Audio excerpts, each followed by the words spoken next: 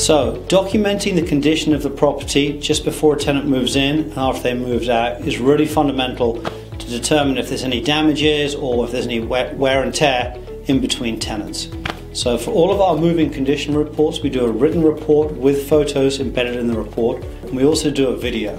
The video is phenomenal because it really takes in all, all the rooms, all the conditions of the floors and the, and the walls, and the interior and exterior of the home. We shoot the video, uh, we upload it to YouTube as a private link, and we share it with you, the property owner, and also with the tenants. So there's no dispute over how the property looked the day they took occupancy and how it looks when they move out.